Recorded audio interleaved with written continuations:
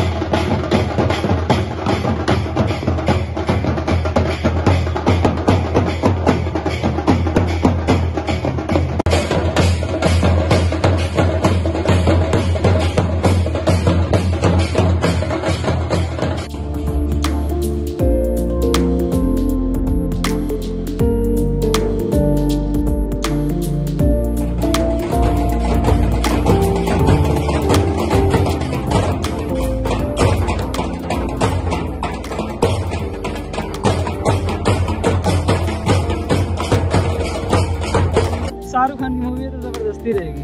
और इसमें double role है और वो तो और भी मज़ा एक नंबर के आखिरी है इंतज़ार था अल्लू अर्जुन का या विजय थलापति का आगे संजय दत्त। पर वो भी बाबा भी अपने बाबा ही है। बहुत अच्छी थी भाई मूवी ये जो अपना शाहरुख भाई है ना बहुत अच्छा एक्शन किया और ये जो लास्ट में जो मैसेज दिया है ना बहुत अच्छा दिया है। मतलब जो एक उंगली की बात बताई उसने और ये बहुत सुपर डुपर फ़िल्म जाएगी जो ये है बनाया है और पठान से भी अच्छी जाएगी। देखिए आगे। सीज़न में बहुत काफ़ी ये भी जा चुकी है कम से कम सत्तर करोड़ तो पार कर चुकी है अभी तक शायद। अभी उससे ज़्यादा अच्छी काफ़ी अच्छी है मूवी। पठान से पठान से काफ़ी अच्छी है। अभी हम ना देखे दस दिन दस लोग आए अभी हाँ। मूवी पठान से काफ़ी अच्छी है।